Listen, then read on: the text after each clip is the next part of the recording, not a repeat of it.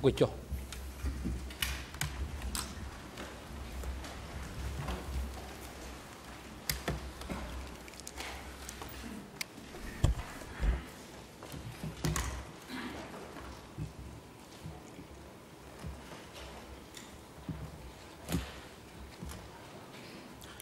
អង្គជំនុំជម្រះប្រកាសបន្តកិច្ចដំណើរការនីតិវិធីសកម្មភាព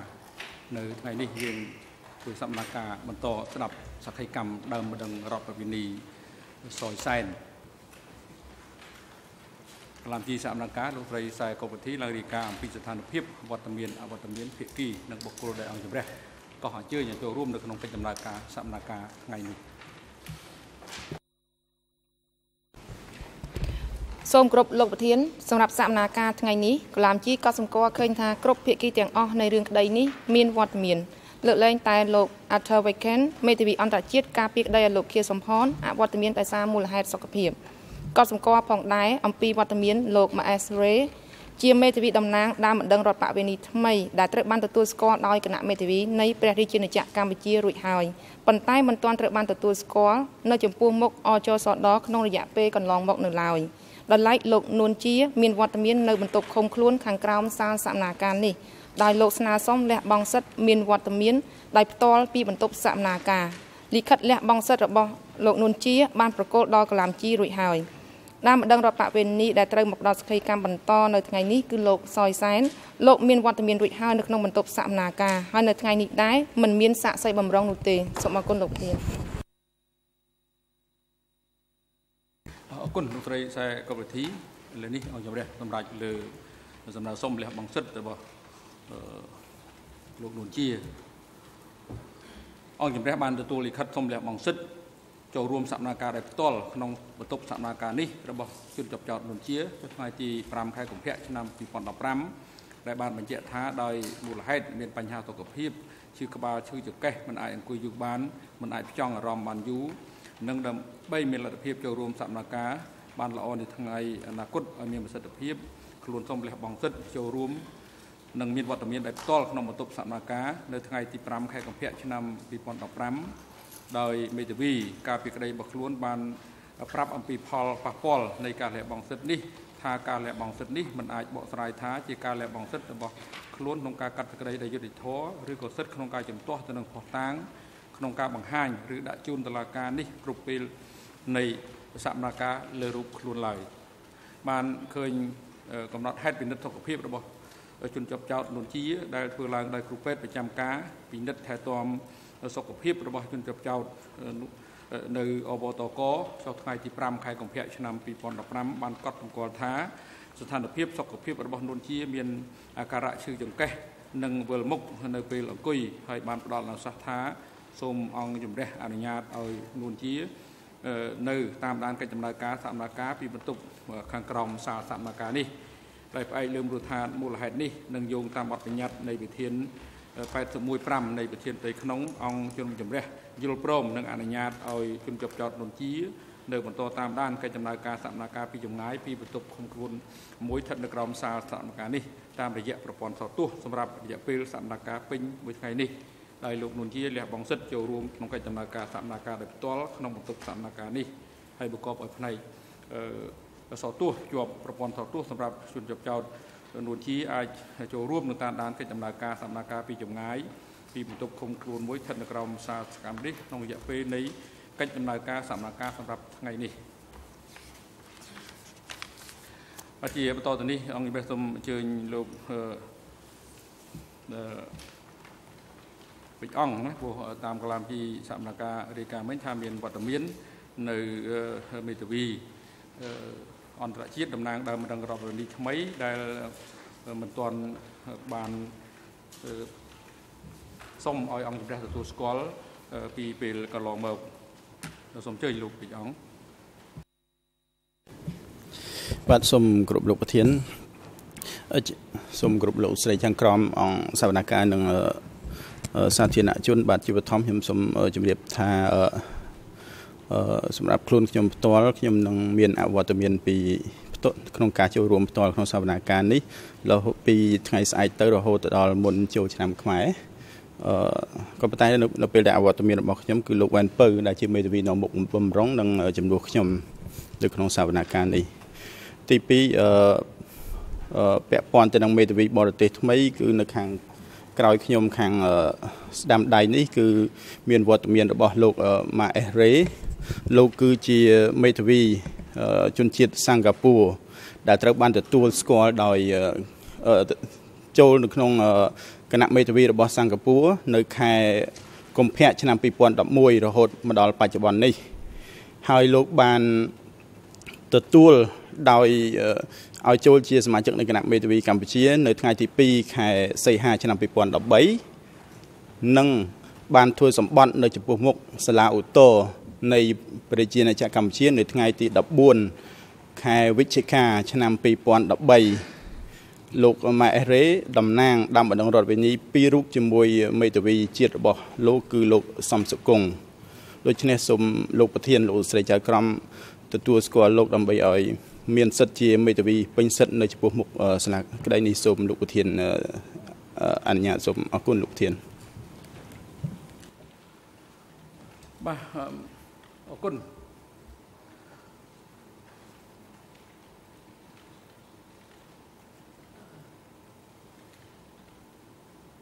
លោកម៉ាអេសរ៉េនាពេលនេះអង្គជំនុំជម្រះដំបងទទួលស្គាល់លោកជាមេធាវីអន្តរជាតិតំណាងដើមម្ដងរដ្ឋបពិនីសម្រាប់គោលបំណងនៃកិច្ចដំណើរការនីតិវិធីនៃចំពោះមុខអង្គជំនុំជម្រះសាលាដំបងក្នុងរឿងក្តីនេះ តាមរយៈការទទួលស្គាល់នេះលោកមេធាវីទទួលបានសិទ្ធិនិងបព្វសិទ្ធិដូចគ្នានឹងមេធាវីជាតិតំណាងដើមម្ដងរដ្ឋបពិនី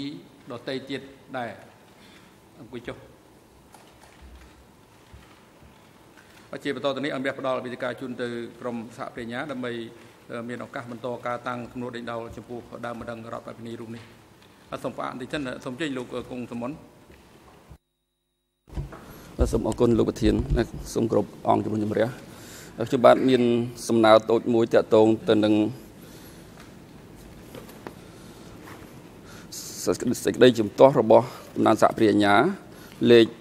E 327លើ4ដែលនៅក្នុងនោះតំណាងសហប្រញ្ញាបានធ្វើការចម្លងជូននៅឯកសារនេះទៅលោកស្រីទូចវលៈនិងលោក Calvin Saunders ហើយដែលបានដាក់ថាមេធាវីការពារជនជាប់ចោតបាននេះនៅក្នុងកឡោនមួយនៅក្នុងទម្រង់របស់គាត់នឹងគឺមានដាក់ថាមេធាវីការពារជនជាប់ចោតខ្ញុំបាទបានយល់អំពីសេចក្តី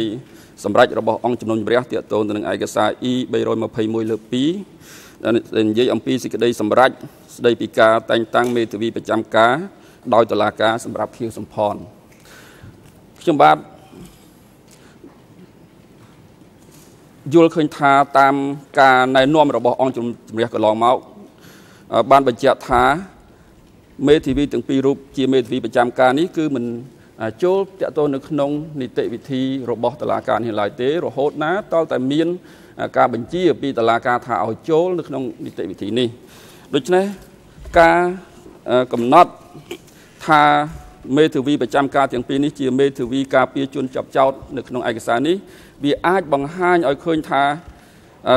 មេធាវីប្រចាំការទាំងពីរនេះកំពុងតែការពារ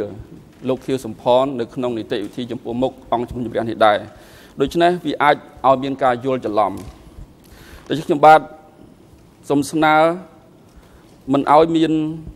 ការប្រើប្រាស់បែបនេះឬមួយក៏សហប្រញ្ញាអាចធ្វើការបញ្យលណាមួយដែលអាច ទទួលយកបានទៅលើការដាក់មេធាវីទាំងពីរនាក់នេះថាជាមេធាវីជួនជាប់ចោតនៅក្នុងអាទីនេះបាទសូមអរគុណ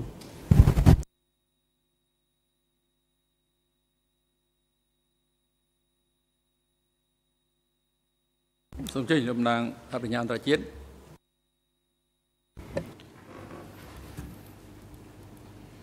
Bonjour Monsieur le Président, euh, Madame et Messieurs les juges, bonjour à toutes les parties. Euh, en réponse à ce qui vient d'être dit de la part de la défense de Q c'est vrai qu'il aurait peut-être fallu que nous mettions stand-by lawyers sur la couverture de cette motion que nous avons mise au dossier récemment. Mais en tout état de cause, il nous a toujours été dit par la Chambre, par votre Chambre, que ces avocats, même s'ils étaient, n'étaient pas encore euh, en train d'exercer កំពុងតែអនុវត្តមុខងាររបស់ខ្លួនក៏ដោយក៏ពួកគាត់មានសិទ្ធិទទួលបានព័ត៌មានទាំងអស់ហើយនឹងចូលមើលឯកសារបានទាំងអស់អញ្ចឹងហើយបានជាឈ្មោះរបស់គាត់មានលេចឡើងនៅលើទំព័រដំបូងនៃសំណើរបស់យើងនេះនេះជាការបញ្ជាក់ពីខាងសហព្រាញ្ញាលោកប្រធាន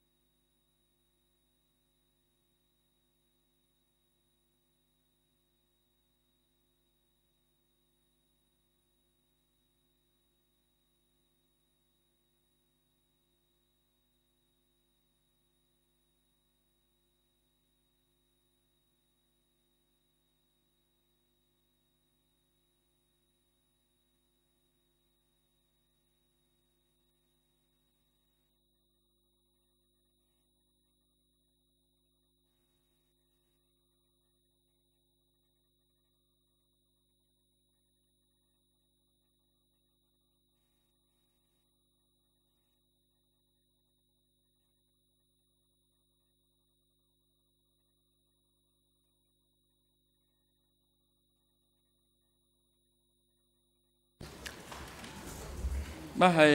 រឿងតូចតាចទេប៉ុន្តែក៏ក៏បីជៀសវាងកុំឲ្យមានការខុសឆ្គងដែរហើយអង្គជំរះសូមជម្រាបជូនទៅខាងសហប្រញ្ញាហើយក៏ដូចជាភាគីដទៃទៀតដែរហើយប្រសិនបើមានឯកសារត្រូវទៅសេបែបនេះក៏ត្រូវដាក់ឲ្យច្បាស់លាស់ចំណងជើងថារវាងមេធាវីការពារជនរាប់ចោតហើយនិងក្រុមមេធាវីប្រចាំការ តំណងជាមិនជាបញ្ហាអីធំដុំទេអាចដោះស្រាយបញ្ហាបានណាបាច់សូមបកគលវិទ្យការជូនទៅក្រមថាបរិញ្ញាដើម្បីបន្តការតាំងសំណួរដេញដោលចំពោះដើមម្ដងរដ្ឋបពិនី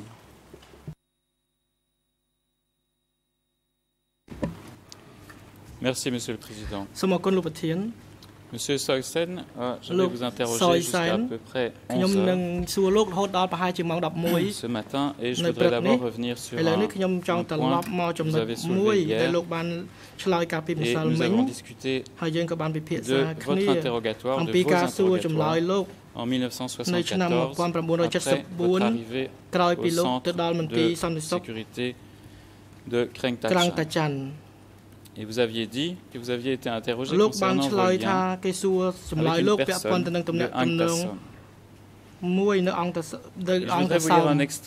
ង់អានសម្រងឯកសារសួរស្ដាប់ចម្លើយរបស់លោកគឺលេខ E3 5214 en Khmer 00អឺជាភាសាខ្មែរ00 22 30 58 58 en français 00ជាភាសាបារាំង00 70 28 28 89 en anglais 00ជាភាសាអង់គ្លេស00 55 22 03 5503 Vous avez dit ceci លោកបានឆ្លើយថា Je cite Des interrogateurs il y en avait អ្នកសួរចម្លើយមាន3នាក់ Puis il y avait un soldat qui était là pour surveiller. Au cours de l'interrogatoire, on me demandait Es-tu en relation avec Prom San? J'ai répondu que je ne le connais pas. Ensuite, on m'a dit Dis la vérité. Je répondais toujours que je ne le connais pas. Je ne le connais les interrogateurs demandaient alors aux soldats qui surveillaient l'endroit de me ramener et de me remettre les menottes.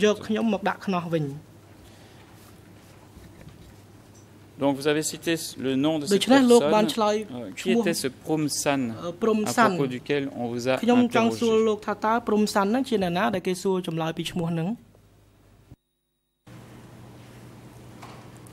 បាទគេសួរខ្ញុំថាឯងដែរស្គាល់ព្រំសានអត់ថាខ្ញុំអត់ដែរស្គាល់ទេ ព្រោះព្រំសានហ្នឹងគឺគេចោទគាត់ថាគាត់ជាមេក្បត់ជាតិបាទខ្ញុំលើសូរគេថាមេក្បត់ជាតិខ្ញុំអត់បានដឹងទេបាទ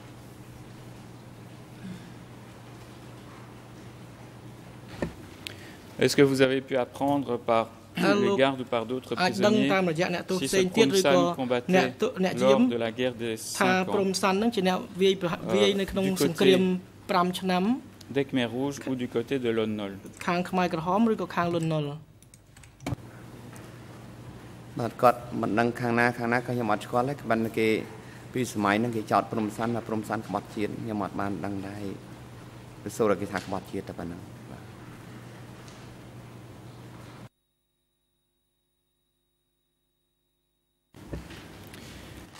À la page suivante du même document que je viens de citer, dans toutes les langues, c'est le numéro suivant. Vous avez dit ceci. Je cite Au moment où j'étais en détention, les autres prisonniers, je savais qu'ils n'avaient été interrogés que sur le sujet de l'histoire de Promsan. Est-ce que vous avez eu l'occasion de តើលោកធ្លាប់ពិភាក្សាជាមួយនឹងអ្នកទោសផ្សេងទៀតដើម្បីចង់ដឹងថាតើគេសួរចម្លើយពួកគេពីរឿងអីដែរនៅ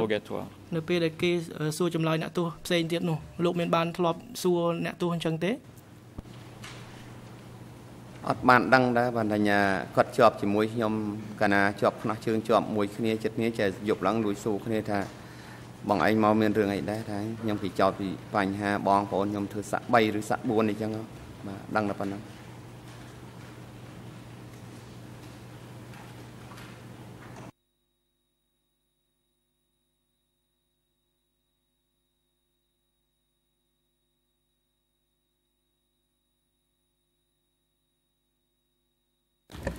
Merci. Alors, pour les besoins de la transcription, je voudrais maintenant mentionner que le nom de Prumsan a été retrouvé dans les archives subsistant de Tramkak et notamment été mentionné plusieurs fois dans certains rapports qui ont été faits par le centre à l'échelon supérieur. J'ai cité les références de trois documents parmi d'autres. Il y a d'abord le document E3 4095, E3 bar 4095. À la page en Khmer, 00 27 10 90 jusqu'à 91. En français, 007 2 12 06 en anglais 00 74 72 37 Le nom de Promsan apparaît aussi dans un rapport de déclaration de prisonniers Sum Sieng et Sum Seng. C'est le rapport E3 4101. Les IRN sont en Khmer 0027 10 39 en français 0085 42 21 et en anglais 00 2 2 1 9 et enfin un troisième exemple parmi d'autres documents c'est le document D157 D157.7 aux pages en Khmer, il y en a plusieurs. 002 08 83 jusqu'à 84. Également à la page 0027 08 86 et à la page 0027 08 91. En français, aux pages 0087 28 82 2 21 0087 28 24 et 0087 28 29 et enfin en anglais. 008 6 6 4 4 6 jusque 4 7 0 0 8 6 6 4 5 0 et 0 0 8 6 6 4 5 6 voudrais maintenant en venir, Monsieur Saïsen, à certains prisonniers de longue durée អ្នកទោសតែជាប់រយៈពេលវែងនៅក្រាំងតាចាន់ម្សិលមិញនេះលោកនិយាយអំពីឈ្មោះតាចិនតាណន Et vous avez dit qu'ils accomplissaient certaines tâches avec vous, comme ramener les prisonniers torturés durant l'interrogatoire en cellule, ou creuser les fosses pour les personnes qui étaient exécutées. Je voudrais vous citer un extrait, encore une fois, de votre procès verbal E3 5 à la page en Khmer 00 22 30 64 en français 00 70 2895 et en anglais 00 22 55 08 Et vous dites ceci à propos de ceux qui creusaient les fosses. Je cite. À part moi, il y avait Tanorn et Tachen. Tanorn est mort après avoir été battu dans ce centre de Tachan. Il était coupable parce qu'il était quelqu'un de Hanoï. Tanorn, un peu plus loin, Tanorn était un prisonnier qui a eu un allègement de peine et qui avait l'ordre de travailler dans la prison comme moi. Lui, il était affecté aux cuisines pour faire les repas pour les prisonniers. Un jour à la cuisine, il était en train de me parler. Il a dit, je vais peut-être mourir avant toi. Durant cette conversation, tout d'un coup, le prénommé Cheng, soldat à Kreng Tachan, est venu l'appeler. Comme il est parti longtemps, je suis allé voir à l'endroit où on exécutait les prisonniers. J'ai vu son corps. On l'a tué et placé son corps sous l'arbre Chotil à environ 70 mètres de la prison. Fin de citation. Alors, je voudrais savoir à propos de cet extrait euh, de votre audition, pourquoi avoir dit que Tanorn était coupable parce qu'il était quelqu'un de Hanoï អ្នកទោសដោយសារតែគាត់នោះជាអ្នកហាណូយនោះគាត់មានទោសកំហុសដោយសារតែគាត់ជាអ្នកហាណូយហេតុអីបានជាលោកនិយាយអញ្ចឹងបាទបងខ្ញុំនិយាយអញ្ចឹងមកគាត់មកពីហាណូយ មកហាណូយគាត់ក៏យកប្រពន្ធនៅឃុំសំរោងប្រពន្ធគាត់ខ្មែរយើងសុតសានគាត់គេអញ្ជើញគាត់មកក្រាំងអាចារ្យគាត់ក៏មកក្រាំងអាចារ្យគាត់មកវាគុំខាំងនៅហ្នឹងហ្នឹងគាត់ទៅជាប់មួយខ្ញុំគាត់ប្រាប់បានប្រាប់ខ្ញុំអញ្ចឹងបាទ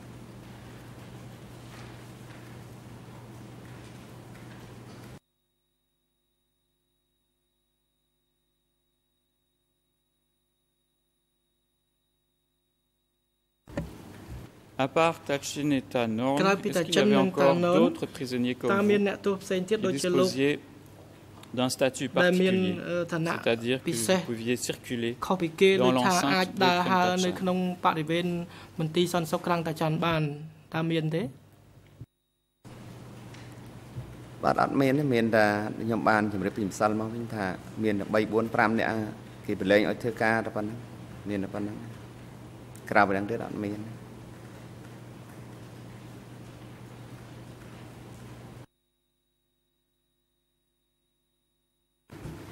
Est-ce que vous pourriez nous donner les noms des personnes qui étaient autorisées à circuler dans la prison comme vous អ្នកដែលគេអនុញ្ញាតឲ្យដើរហើរនៅក្នុងគុកហ្នឹងដូចលោកបានទេអ្នកណាខ្លះ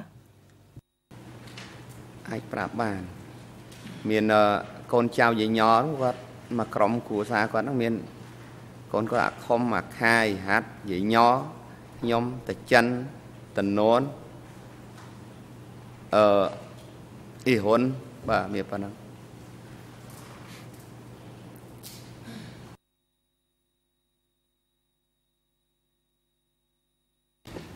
Merci. Je vais essayer de clarifier euh, les noms que j'ai rapidement entendus en français.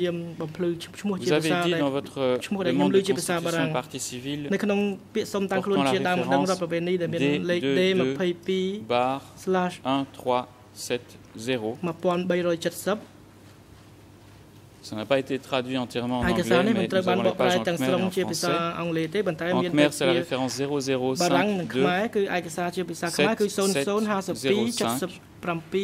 en français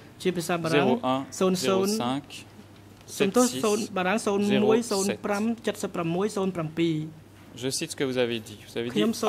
a ordonné à K, un des de la vieille Nor, N-H-O-R, et à moi-même de creuser des fosses pour enterrer des personnes exécutées. Tous les jours, les Khmer Rouges tuaient au moins deux ou trois personnes après les avoir torturées et interrogées dans le sang. Il arrivait que les Khmer Rouges exécutent entre 50 et 100 prisonniers par jour. Fin de citation. Alors, vous avez donné deux noms ici. Pourriez-vous préciser qui était la vieille Nor, N-H-O-R, parfois aussi orthographié N-H-A dont vous avez parlé ici dans cet extrait. នៅក្នុងឯកសារនេះតើឈ្មោះយាយញហ្នឹងជាអ្នកណាគេដែរបាទយាយញគាត់ជាអ្នកចុងភៅគាត់អ្នកខាងដាំបាយឲ្យខាងអ្នកទោស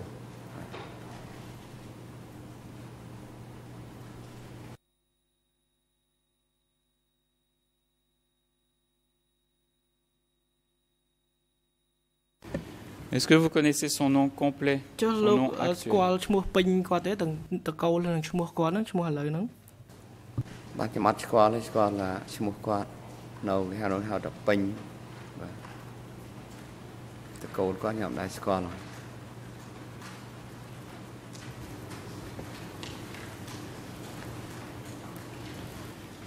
Que savez-vous de ce cas cas KHA. Donc vous dites qu'il était un des fils de la vieille Nord. Il devait aussi creuser des fosses pour enterrer les personnes exécutées. Est-ce que vous connaissez son nom complet éventuellement ជាមួយលោកលោកស្គាល់ឈ្មោះពេញគាត់ទេខាហ្នឹងបាទអត់ស្គាល់ទេស្គាល់តែខាកូនញញរសារវាទូចអាហ្នឹងវានៅទូចហើយវាខ្ញុំវាធំជាងវាបន្តិចដល់ពេលស្លាប់តាមផ្ទះអញ្ចឹងតាមគុកអញ្ចឹងខ្ញុំតាចិនគាត់ឈឺដល់ពេលឈឺខ្ញុំហៅខាជួយថាខាជួយអញ ជាខាវាទៅជាកាន់ដៃក្រោយខ្ញុំណាអូសចាប់ដៃចាប់ជើងអូសដល់ខ្នោះអូសអានខាមួយក៏ជួយទាញដៃទាញអីទៅពីរអ្នកមួយវាហ្នឹងប៉ុន្តែវាក្មេងហើយវាតូចជាងខ្ញុំទៀត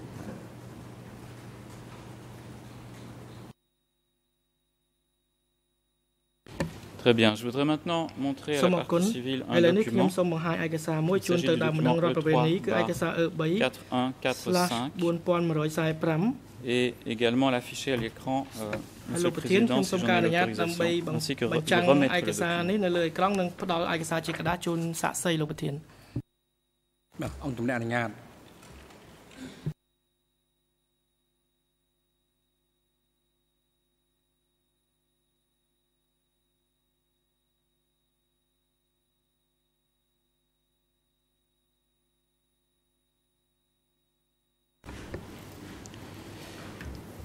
Alors, dans ce document, nous allons nous pencher d'abord sur la première page. Euh, c'est l'IRN en Khmer 000 6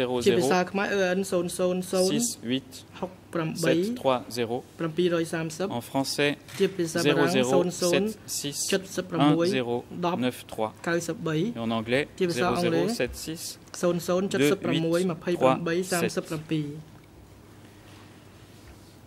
Alors, c'est un tableau qui est intitulé Liste nominative des prisonniers détenus depuis des mois et des années étant soumis à la décision du parti. Pouvez-vous me dire si vous reconnaissez des noms de prisonniers de longue durée à Krang Tachan et tout d'abord si vous connaissez ce nom premier qui apparaît sur la liste il s'agit de Yit Chen 51 ans de la commune de Neng Nyang dont il est dit qu'il a été arrêté par erreur en tout cas c'est ce que la traduction française nous dit ចាប់ច្រឡំលោកបញ្ជាក់បានទេឈ្មោះហ្នឹងលោកស្គាល់ទេឥតចិនហ្នឹងបាទស្គាល់អឺ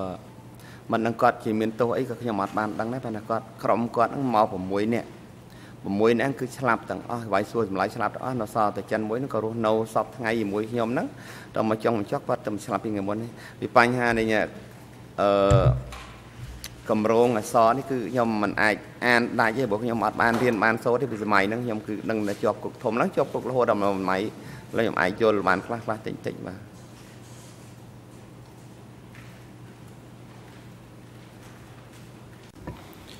Pas de problème, je vais continuer à, à, à le lire. Euh, quand vous entendez ce nom Yichen, Vous avez dit qu'il était parmi un groupe de six personnes et qu'il a Est-ce qu'il s'agit de la même personne que vous désignez par Ta Chin Avec qui vous creusiez des fosses et enterriez des personnes exécutées រំដៅសម្រាប់កប់សាកសពជាមួយលោកហ្នឹងជាមួយគាត់ហ្នឹងតើមនុស្សតែមួយមែនទេអៀតចិនហើយនឹងតាចិនហ្នឹងបាទមនុស្សតែមួយឯងក៏នៅកន្លែងនោះគេហៅអោអោឯងបាទអោចិនអោចិនអញ្ចឹងគេគូជាមួយយាយញ៉ចុងភៅហ្នឹងព្រោះគាត់នៅជាប់នឹងយូរគេចេះគូថាង អោចិនហើយម៉ែញ៉តាមកើតទេផ្សំគុំគ្នាហ្នឹងហើយហ្នឹងពាក្យនិយាយលេងបាទ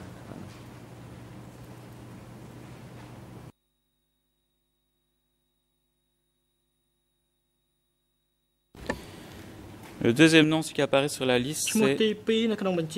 une certaine Hun Seng,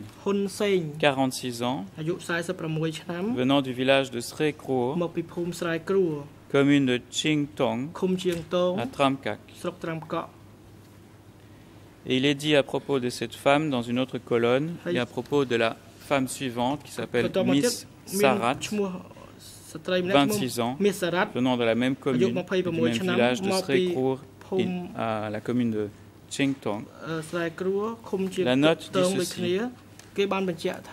Ces deux femmes sont mariées respectivement à Kun et Bun. Nous avons éliminé ces derniers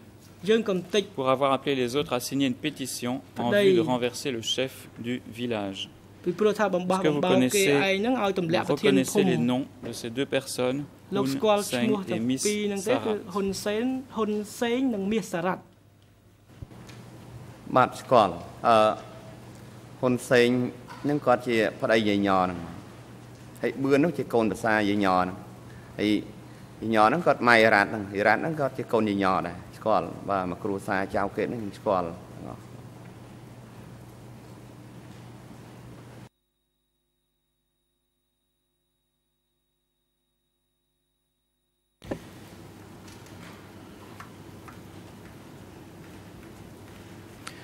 Vous avez dit un il y a un instant que Yichin et Yena, c'est-à-dire deux des personnes qui figurent sur cette liste, devaient se marier normalement.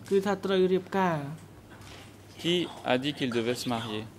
ចឹងតើគាត់នឹងត្រូវរៀបការជាមួយអ្នកណាលោកនិយាយមិញថាអៀតចិនហើយនឹងយាយញហ្នឹងមិញហ្នឹងថាត្រូវរៀបការយ៉ាងម៉េចហើយត្រូវរៀបការជាមួយអ្នកណាខ្ញុំដូចជាមិនសូវយល់ បាទពាក្យហ្នឹងអត់ទេពាក្យហ្នឹងគេគូកងគាត់លេងទេកងតបចិត្តគូកងតបនៃការពារនៅក្រាំងច័ន្ទគាត់ថាអេឲ្យចិនឲ្យម៉ែញោធ្វើកើតទេរៀបចំផ្សំគុំគ្នានឹងហើយទៅមិនបាច់តណាមកណានៅនឹងហើយមកគ្រូសានឹងមកទៅគាត់នឹងគេនិយាយលេងទេការពិតគឺអត់ទេ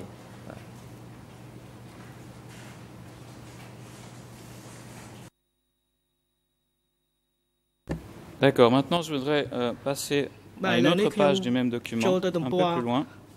ផ្សេងទៀតគឺចុះមកក្រោមរៀងឆ្ងាយបន្តិចដែរ000ជាភាសាខ្មែរគឺ00 06 87 36 En français 00 ជាភាសាបារាំង00 76 00 En anglais 007 ជាភាសាអង់គ្លេស0076 4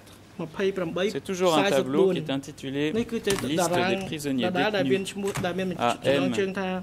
105 depuis plusieurs années étant soumis à la décision du parti. Alors, je vais vous demander la même chose. Euh, il y a un premier nom qui apparaît sur cette liste. Il s'agit du nom de Yuk Sen. Je vais demander l'aide des interprètes en Khmer qui ont sans doute le document sous les yeux. C'est orthographié Y-U-K et puis Sen, S, E accent grave, N venant du village de Trapping Lin,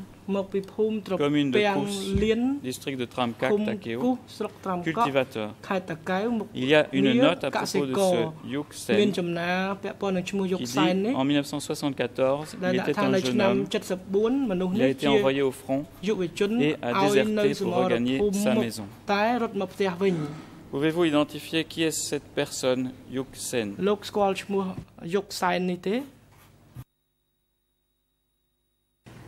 បាទស្គាល់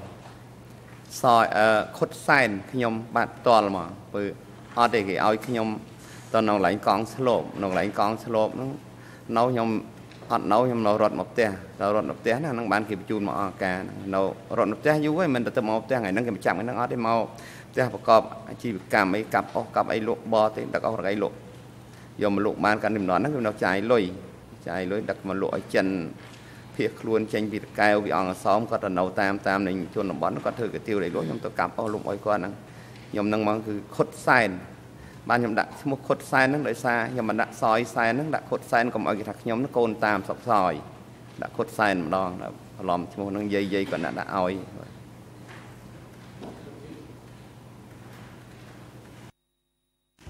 អញ្ជើញលោកមេធាវីនៅមុខតំណាងដើមដឹងរដ្ឋបវិនី បាទសូមគ្រប់លោកប្រធានខ្ញុំសូមបញ្ជាក់បន្តិចនៅក្នុងឯកសារ F3 លើ4លើ41 45ឈ្មោះដែលគេសរសេរនោះមិនមែនយុទ្ធសែនទេគឺខុតសែនក៏ប៉ុន្តែដោយសារការសរសេរមានលក្ខណៈស្តៀងគ្នាអាចការបកប្រែទៅជាយុទ្ធសែនតាមកាពិតគឺខុតសែនសូមអរគុណលោកប្រធាន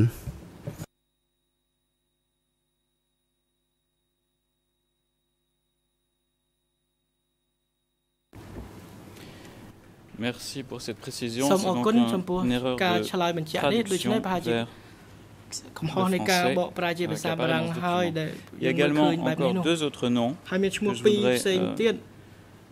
vous lire il s'agit de Hun ចង់អានជូនលោកគឺឈ្មោះ Hun et de Miss Rat និងឈ្មោះ Miss Rat qui apparaissent encore sur cette liste ដែ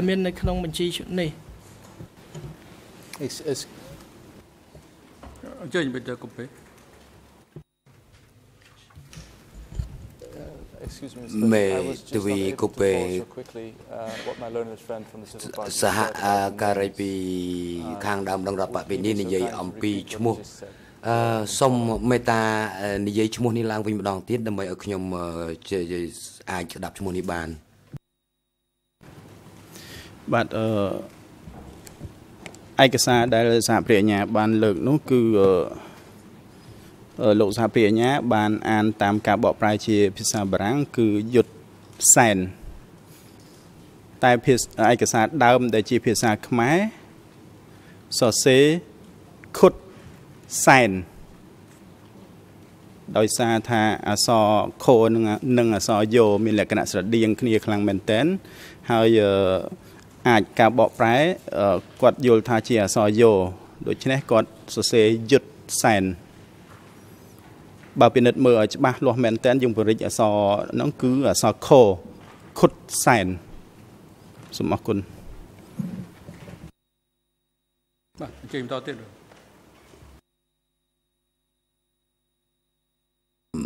លោកប្រធានសូមការអនុញ្ញាតពីអ្នកបកប្រែខាងភាសាអង់គ្លេសថាសាក់សី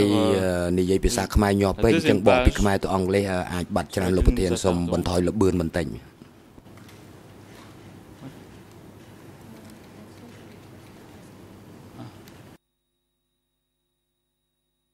សុយសែនសូមដល់ពេលលោកឆ្លើយសូមលោកឆ្លើយឲ្យបានយឺត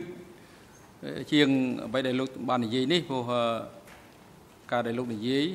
ទាំងអស់គ្នានិយាយនិយាយនេះស្ទើរតែមានការបកប្រែទៅជាភាសាផ្សេងផ្សេងទៀតមានពួកយើងប្រើប្រាស់នៅក្នុងអបតកនេះ3ភាសាដូច្នេះដើម្បីឲ្យពាក្យពេចន៍និងសម្ដីចម្ដៅរបស់លោកដែលបាននិយាយឡើងនេះគឺត្រឹមត្រូវមានការបកប្រែច្បាស់លាស់ហើយនឹងមានការកត់ត្រាត្រឹមត្រូវសូមលោកនិយាយឲ្យបានយឺតយឺត លោកយល់ទេលោកគាត់លោកសយសែនបាទយល់លោកធានបាទអញ្ជើញបន្តលោកតំណាងថាបញ្ញា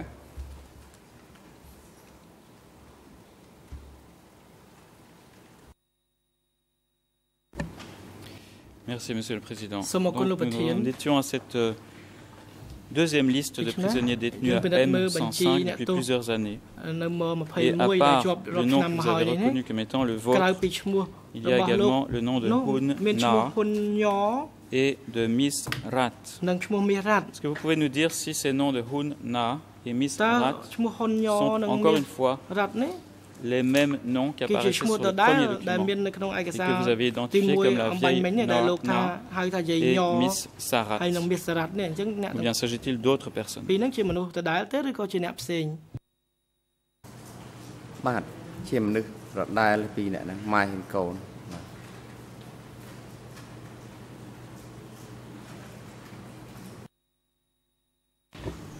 Dernière question sur ce document. Euh, dans l'intitulé, il est marqué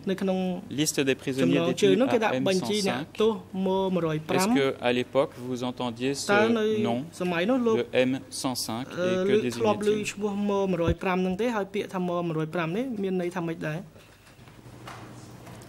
បានខ្ញុំអត់ដឹងដឹងតែគេហៅថាស្រុក105អត់ដឹងថាម105អត់ដល់ដឹងពីនិយាយឬដឹងថាស្រុក105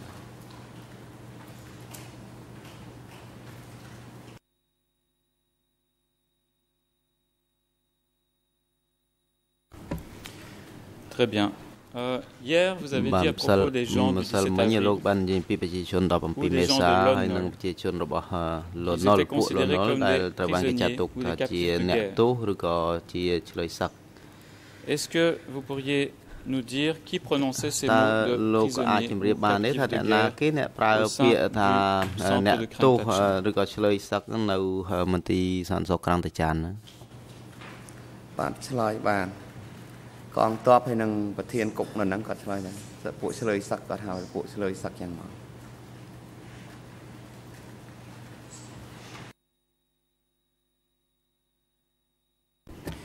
Pourriez-vous préciser à nouveau si cette expression désignait les 17 avril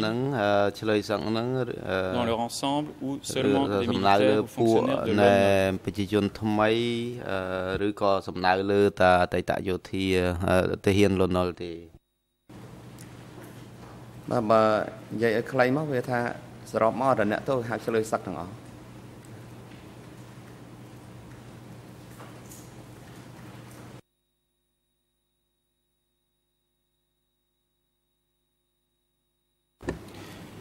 Merci. Nous avons eu le témoignage ici devant cette même chambre នៅក្នុង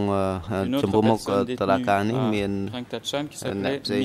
មានឈ្មោះអ្នកផ្សេងទៀតដូចសក្ខីកម្មរបស់លោកមីសុខាគាត់បាននិយាយនៅទីនេះនៅថ្ងៃទី21 22ខែមករាពីក្រុមមនុស្សម្នាក់ក្រុមមនុស្សដែលមានពី100ទៅ130នាក់ដែលនាំមកពីឃុំ2មកមន្ទីរក្រាំងតាចាន់គាត់និយាយកាលនោះគឺជាស្រែរនងហើយនឹងញ៉ែញងខ្ញុំសូមដកស្រង់អ្វីដែលគាត់បាននិយាយឡើងគឺឯកសារ1ស្លាស់249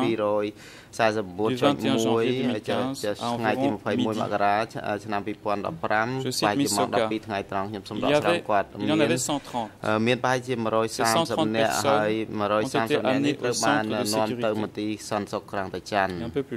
ហើយបើឆ្ងាយជាងនឹងតិចទៀតខ្ញុំនិយាយថាអ្នកទាំងអស់នោះមិនត្រូវបានគេសួរចម្លើយនោះទេ Le lendemain devant cette ថ្ងៃបន្ទាប់មកទៀតលោកមាសខាដែលបាននិយាយ transcription E1/250 នៅប្រទេសចរិតគឺឯងគឺ E1/250.1 ប្រហែលជាម៉ោង Ce jour-là plus de 100 prisonniers ont été tués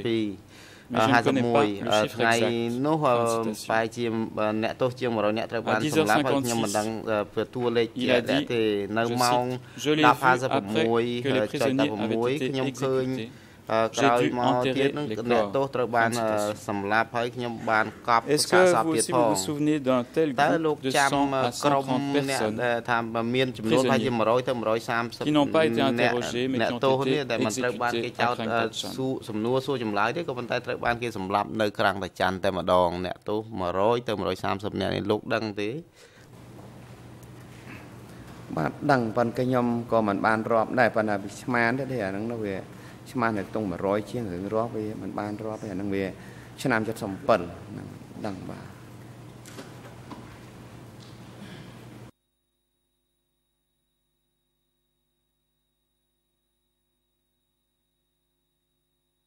Était-ce là la seule occasion où plus de où 100 prisonniers ou environ 100 prisonniers sont arrivés en une fois à Tachan Est-ce arrivé plusieurs fois ទាំង100នាក់អ្នកទោសជា100នាក់ហ្នឹងមកដល់មន្ទីរក្រាំងតាចាន់តែម្ដងទេឬក៏មកជាច្រើនដំណាក់มันអាចរាប់បានទេវាចូលច្រើនដំណាក់ដូចខ្ញុំមានប្រសាសន៍ពីម្សិលមិញមកហ្នឹងថាចូលតាមថ្នាក់វាភាកច្រើនវាមកខាងសែនោះហើយញញងពិតប្រកបដូចវានិយាយត្រឹមត្រូវថា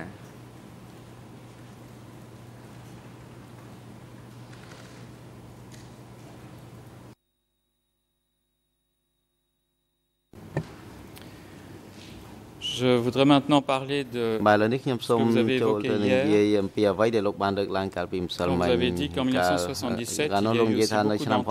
1977មានមនុស្សចូលមកជាច្រើនហើយត្រូវបានគេសម្លាប់នៅទីក្រុងតាចាននៅពេលដែលវៀតណាមបានវាយប្រហារលើប្រទេសកម្ពុជា à ce moment de l'attaque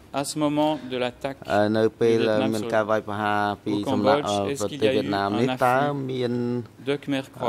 ខ្មែរក្រោមឬក៏វៀតណាមចូលមកមន្ទីរសន្តិសុខក្រាំងតាច័ន្ទច្រើនទេបាទចំនួនហ្នឹងខ្ញុំអត់បានដឹងពីខាងសាសនាសាសនាក៏មិនបានដឹងប៉ុន្តែបើតាមនៃបណ្ឌិតតាមដានមើលបែបមានច្រើនច្រើនជនជាតិចាមឯង ច្រើនជនជាតិចាមបើថាក្រៅពីហ្នឹងខ្ញុំមិនសូវដែលឃើញមកចាមនឹងនឹងអាចស្គាល់ដោយសារគាត់ថាខ្ញុំអត់ហូបសាច់ជ្រូកទេពីមុនហើយគាត់បានប្រាប់ចឹងមិនដឹងគាត់ជាជនជាតិចាមបាទ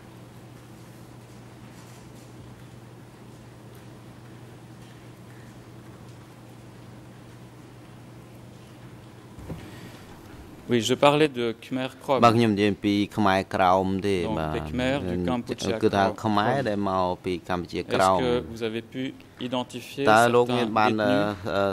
សម្គាល់អ្នកទោសមួយចំនួនដែលថា l'expression Khmer មើលទៅឃើញថាគាត់មាននិយាយពីបៃឡាំទៅហើយដឹងថាគាត់ជាខ្មែរក្រោមមកពីប្រទេសវៀតណាមលោកមានគាត់សម្គាល់ឃើញអញ្ចឹងទេចំណាំមើលកាលនោះណា បាទអត់ទេខ្ញុំអត់ដែលស្គាល់មើលអត់ដែលនឹកឃើញទៅស្គាល់អីចឹងអត់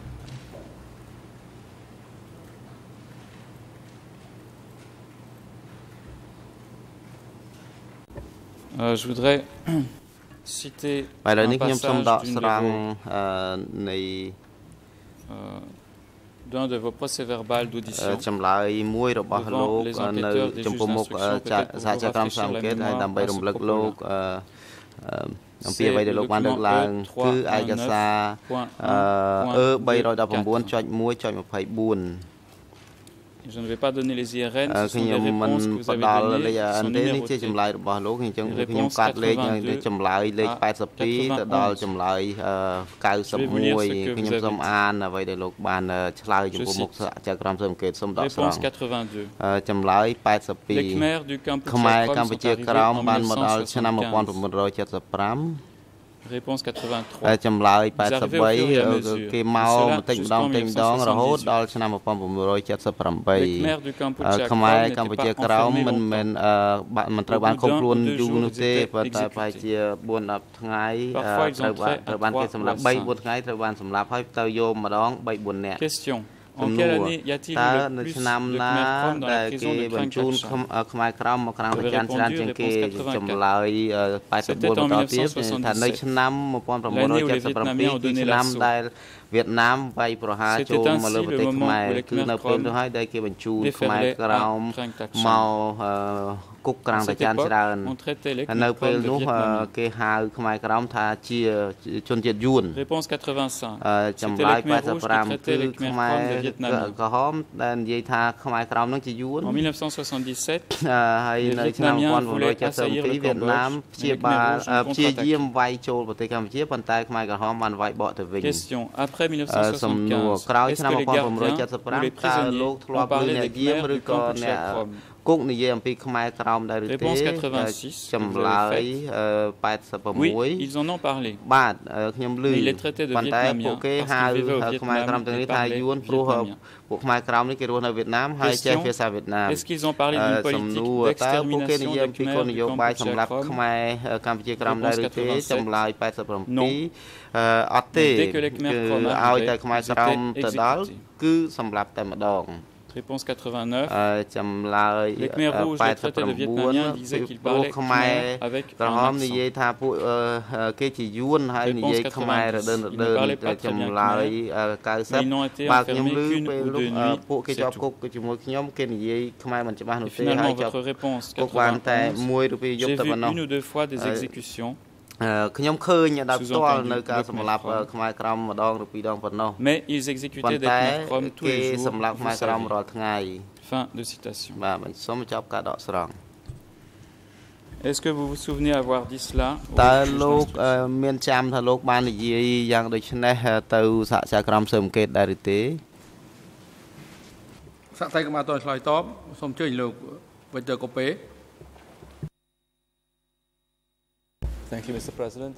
មេធាវីវិទ័យកូពេសូមអរគុណលោកប្រធាននេះមិនមែនជាការជំទាស់ទេក៏ប៉ុន្តែស្នើសុំឲ្យធ្វើការបញ្ជាក់ខ្ញុំពេញចិត្តចំពោះការបកប្រែពីសំណាក់អ្នកបកប្រែប៉ុន្តែបើយើងអានអឺឯកសារនេះទៅមានការប្រើប្រាស់ពាក្យពេចផ្សេងគ្នាប៉ុន្តែនៅក្នុងការបកប្រែនៅចម្លើយរបស់គាត់នេះខ្ញុំឃើញថាមានការ ប្រើពាក្យច្រើនសម្រាប់ប្រជាជនវៀតណាមថាតើយើងដកស្រង់ពាក្យពេចន៍របស់គាត់ត្រង់ត្រង់តែម្ដងឬក៏ជៀសវាងមិនដកស្រង់ដោយប្រើប្រាស់ពាក្យពេចន៍នេះត្រង់ត្រង់នោះទេ Euh, Monsieur le Président, s'agissant de ce document particulier là, il est évident que les interprètes doivent le faire simultanément. Donc c'est possible qu'il y ait des différences entre l'écrit et l'oral. J'ai cité oralement ce qui se trouve écrit en français dans la déclaration du témoin. On ne peut rien dire de plus. Monsieur la partie civile, j'ai lu ce que vous avez dit aux enquêteurs de juge d'instruction concernant les Vietnamiens et leurs preuves. សូមអធិស្ឋានខ្ញុំមានការបកប្រែជាភាសាអង់គ្លេសផ្សេងគ្នាបើយើងប្រើពាក្យថាប្រជាជនវៀតណាមខ្ញុំជាបកប្រមុខជាភាសាអង់គ្លេសខ្ញុំស្ដាប់ឮសុខខុសគ្នាដូច្នេះខ្ញុំចង់អឺថាតើយើងគិតជា កិច្ចវិជ្ជឬក៏ថាយើងយើងជៀសវាងមិនប្រើពាក្យនេះត្រង់ត្រង់ឬក៏យ៉ាងណាអញ្ជើញលោកតំណាងថាបញ្ញាអន្តរជាតិយ៉ាងម៉េចទៅ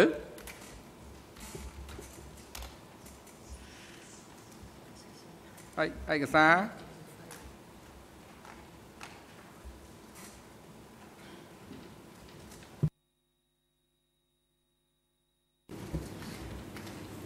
Merci Monsieur le Président. Je n'ai pas vérifié euh, juste maintenant quel était le terme utilisé en anglais. J'ai lu uniquement la version française.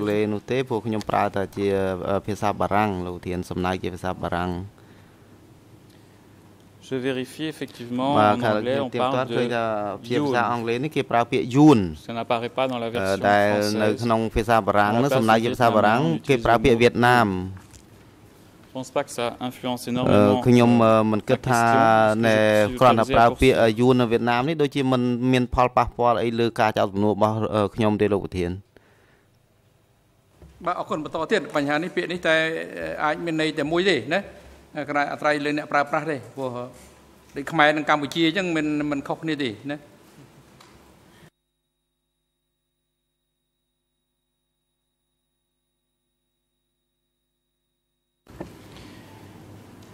Monsieur la partie civile, euh, est-ce que ce passage que j'ai lu de votre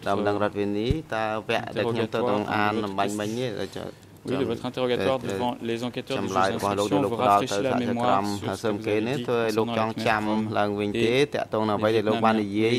តកតងទៅនឹងខ្មែរក្រោមឬក៏វៀតណាមឬក៏យួន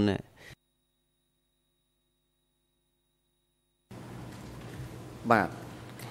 ខ្ញុំដែលអឺ សម្ភាសជាមួយអ្នកកសែតខ្លះដែរពីបញ្ហាហ្នឹងប៉ុន្តែខ្ញុំអត់ដឹងថាអឺខ្មែរកម្ពុជាក្រោមនេះដឹងតែយួននៅនោះគេដឹងតែយួនតែនិយាយបៃឡានគេដឹងតែយួនបាទនឹងឆ្នាំ77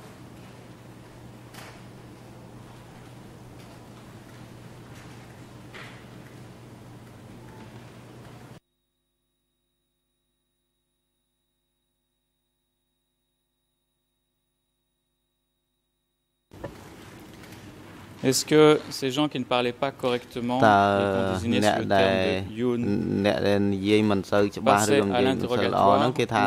ពួកគេហ្នឹងជាយួនហើយពួកគេហ្នឹងត្រូវបានសួរចម្លើយហើយបានយកទៅសម្លាប់ឬក៏យកទៅសម្លាប់ទាំងមិនទាន់បានសួរចម្លើយផង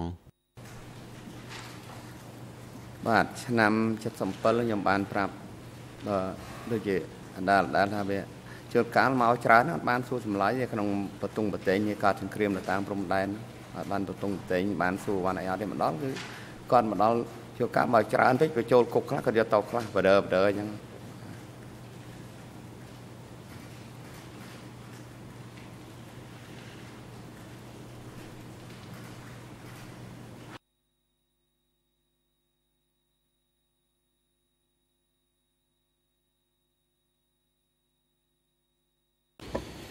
Merci. បាទសូមអរគុណឥឡូវខ្ញុំសូមចូលទៅប្រធានបទមួយទៀតតកតងទៅនឹងការទំនាក់ទំនងរវាងមន្ទីរសន្តិសុខក្រាន់តាចាន់ហើយនិងស្រុក105 Je voudrais citer un passage de votre procès-verbal d'audition E3-1-4. Les références en clair sont 00, 22, 3, 0, 6, 8, 6, En français, ជាភាសាបារាំងគឺ00 0070 Et en anglais, 00 ជាភាសាអង់គ្លេសគឺ22 Voilà ce que vous avez dit. 0022លោកបាននិយាយដូចតទៅនេះ Je savais simplement ខ្ញុំ que គ្រាន់ quand តែដឹង le ថា messager du នៅ centre ពេល de ដែល Krantachan នារសាររបស់មន្ទីរក្រាន់តាចាន់ apportait la lettre បានយក du សម្បត្តិពីស្រុក district au chef de មក ce centre ឲ្យ de ប្រធានមន្ទីរក្រាន់តាចាន់នេះ Il y avait des mots.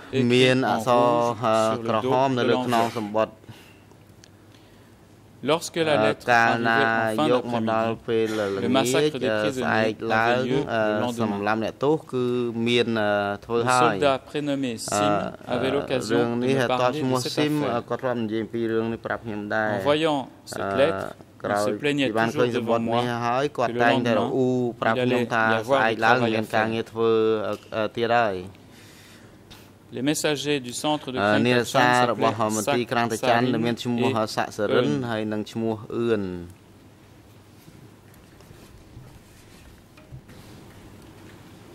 qui,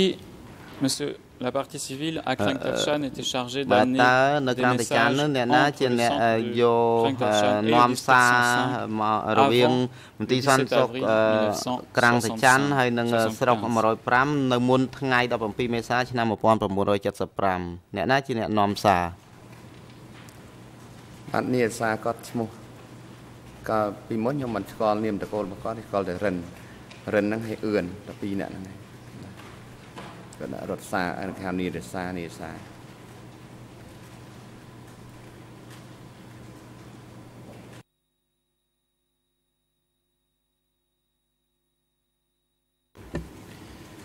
qui était chargé euh, de remplir ce rôle de messager អ្នកណា après ជា le 17 avril អឺ 1975 ធ្វើនាសា jusqu'en 1979. អឺក្រោយថ្ងៃ17មេសា ឆ្នាំ1975ដល់អឺ នៅឆ្នាំ1979បាទអ្នកហ្នឹងអឺសនបាទខ្ញុំអត់ស្គាល់នាមតកូលគាត់ស្គាល់តែសនមក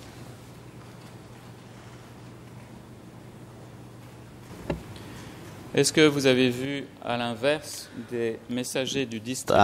លោកមានធ្លាប់ឃើញ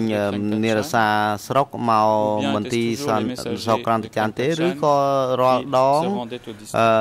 នារសារមន្ទីរសន្តិសុខក្រាន់តចាន់ទៅអឺស្រុកបាទដែលឃើញតាគណៈស្រុកមកជំនាន់ហ្នឹងគេហៅគណៈស្រុកតែឃើញតែគាត់ហើយនាសាគាត់មួយ មកជាមួយគណៈស្រុកគាត់មានអឺហុងដាគេហៅហុងដាមួយដៃចងាងពីដើមមានអង្គជិះមួយមួយនារសាគាត់ហ្នឹងមកញឹកញាប់ដែរហ្នឹងគាត់មកញឹកញាប់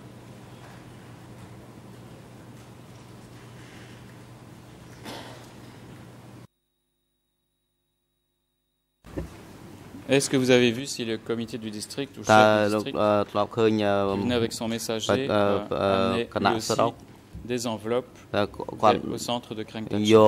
នៅសម្បត្តិមកមន្ទីរសន្តិសុខក្រាំងតាចាន់ទេគណៈស្រុកឬក៏ចវាយស្រុកបាទអត់ដែលឃើញគណៈស្រុកគាត់អឺយកសវត្តមកខ្លួនឯងមាននារសារគណៈស្រុកគាត់មកមាននារសាបើកម៉ូតូពីពីមុខបាទគាត់ជិះពីក្រោយគាត់នារសានារសានៅពីមុខបាទ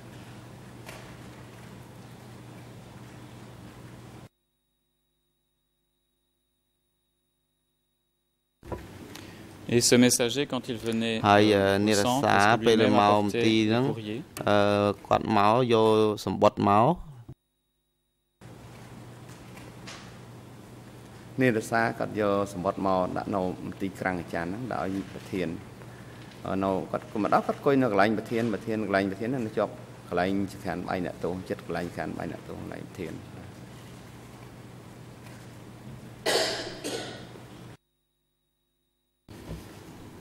Je Je vais citer alors un, encore un autre passage de votre PV d'audition. កំណត់ហេតុស្ដាប់ចម្លើយរបស់លោកមួយគឺឯកសារអឺ319.1.24នៅចម្លើយ99 Vous avez dit លោកបានឆ្លើយថា Je cite ខ្ញុំសំដកស្រង់ខ្ញុំឃើញលិខិតចេញពីអង្គការលើ dans laquelle figurait le nom de ceux qui devaient être exterminés En fait, je voyais ce genre de lettres qui étaient écrites au stylo rouge presque tous les jours. Réponse 100. En fait, le messager avait dans ses mains les lettres en question. Puis, Dutch dactylographiait des rapports. Réponse 101. Dutch faisait des rapports sur les hommes qui ont été exterminés. Question Vous avez parlé d'un messager. Est-ce que vous faites allusion à Son Réponse 102. Oui. Alors, dans cet extrait, vous avez dit que concernant les rapports dactylographiés par Bush, que Bush faisait des rapports sur les hommes qui avaient été exterminés. Sachant que vous ne savez pas lire, est-ce que vous avez appris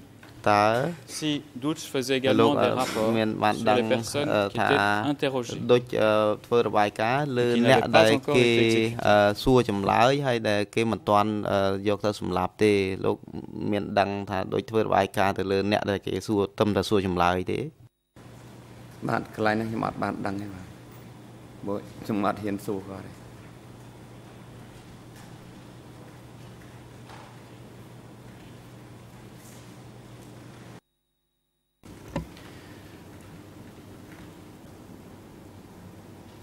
Quand Sun apportait une lettre ពេលដែលស្វាន់យកសម្បត្តិពី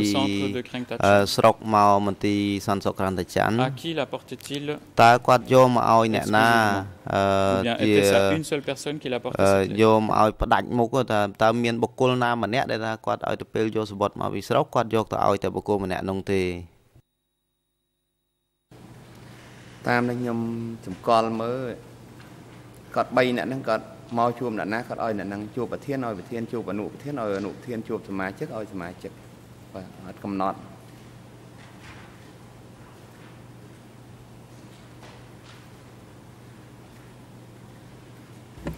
Et que faisaient ensuite les membres du comité de prison après avoir reçu ces courriers នៃបុគ្គលិកទីហ្នឹងក្រោយពីពេលទទួលសម្បត្តិហើយហ្នឹងតើមានការចេញបញ្ជាឲ្យធ្វើអីទេ ឃើញសពមួយដងកាលណាដែលផែនការប្រញាប់បានគាត់ឲ្យទទួលសម្បត្តិហើយគាត់ចាត់ចែងកម្លាំងកងទ័ពគាត់ហើយបើដូចតែយូរទៅវាហ៊ានជាមានមួយមួយអញ្ចឹងគាត់ចម្លងថាសម្បត្តិមកថ្ងៃហ្នឹងអញ្ចឹងគាត់ចាត់ចែងស្អែកទៅបានចាត់ចែងបាទ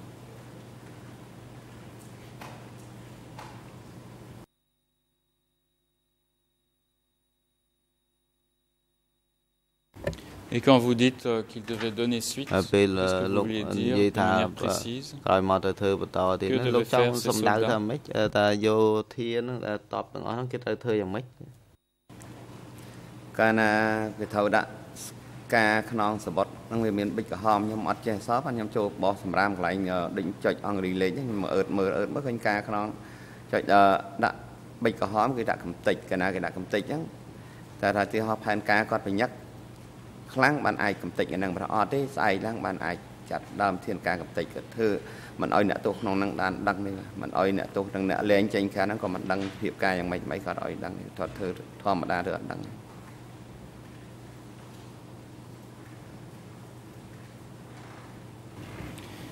Merci. J'ai quelques questions à vous poser sur បាទខ្ញុំមានសំណួរមួយចំនួនតកតងទៅនឹងការធ្វើទរណកម្មទៅលើអ្នកទោស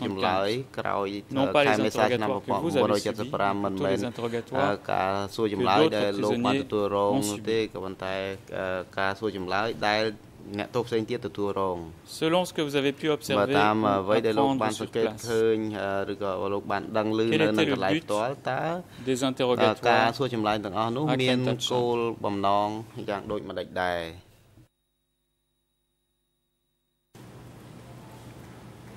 កាលណាសួរចម្លើយសួរដដែលដដែលដែលខ្ញុំបានប្រាប់អត់មានខុសសួរបញ្ហាអីខុសពីរឿងតាក់ទងកិញ CA របស់លន់ណុលកិញ CA របស់ ដៃជើងរបស់ព្រំសានមានប៉ុណ្ណឹងដែលខុសហ្នឹងសួ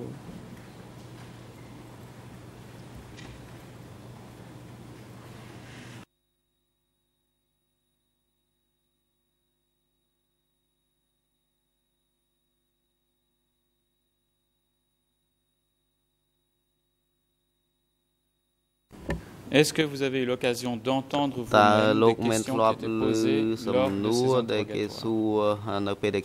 គេសួរចម្លើយនឹងដែរឬទេបាទកាខ្ញុំទៅបោះចម្រាមចិត្តហ្នឹងទៅឬសូគេឲ្យទៅធ្វើការបោះចម្រាមចិត្តចិត្តកន្លែងហ្នឹងតែមកទៅបានតែខ្ញុំមិនទៅបោះចម្រាមកន្លែងហ្នឹងគេឲ្យទៅរំនាក់អញ្ចឹងឬសូឆែកសួរចម្លើយក្នុងកន្លែងកាយអាល័យរបស់គាត់ហ្នឹង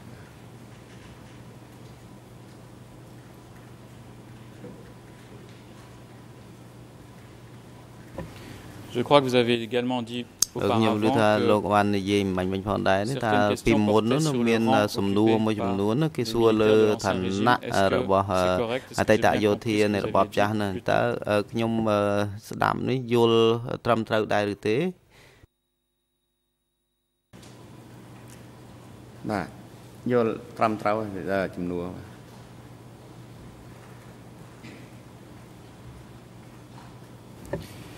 Durant les interrogatoires, d'après ce que vous avez pu constater, est-ce que le recours à la torture était-il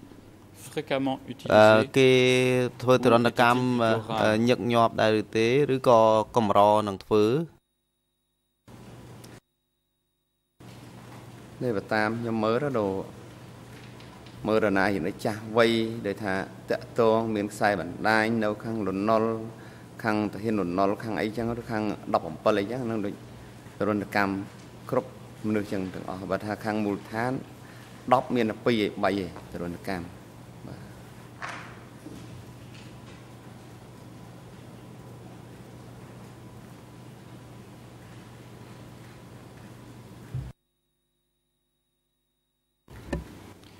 Vous avez parlé hier de ម្សិលមិញលោកបាននិយាយអំពីការធ្វើទរណកម្មមួយចំនួនថាវាយនឹងដំបងហើយនឹងការប្រើថង់ប្លាស្ទិក Quant au coup, euh, est-ce que les prisonniers étaient frappés à main nue ou à l'aide d'instruments ការវាយដំនេះគេវាយនឹងឧបករណ៍អីមួយឬក៏វាយនឹងដៃទេវាយអ្នកទោសណាបាទវាយដបងអាស័យអាស័យប្រហែលជាប្រវែង7ទឹកហើយក៏6ទឹកអាស័យប្រហែលប៉ុនប៉ុនក៏ដៃបាទគេកាត់អាស័យនៅកន្លែងហ្នឹង មាន3កង់4កង់នៅក្រោយសួរចម្លើយនៅហ្នឹង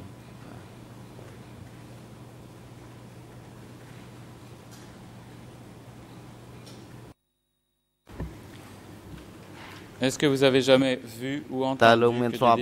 ឃើញឬធ្លាប់ឮថាអ្នកទោសនោះត្រូវបានគេដកកញ្ចក់ពេលគេសួរចម្លើយដែរឬទេអត់បានឃើញទេដឹងថា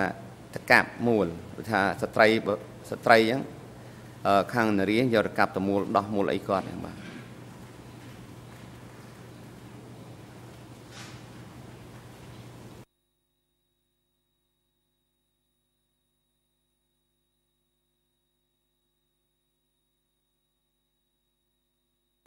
Est-ce que cette pratique des tortures des prisonniers durant les interrogatoires s'est poursuivie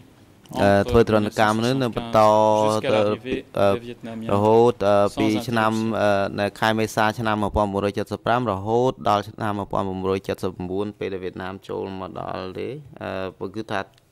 ធ្វើទរណកម្មនឹងរហូតដោយមិនមានអខានអីទេបន្តជាប់រហូតទេមកដល់ឆ្នាំ79នេះវាលង្វើលង្វើដោយសារវាដកកម្លាំងរត់ក្នុងព្រៃហើយនៅនៅកន្លែងហ្នឹងនៅតែពួកខ្ញុំប្រហែលអ្នកគេ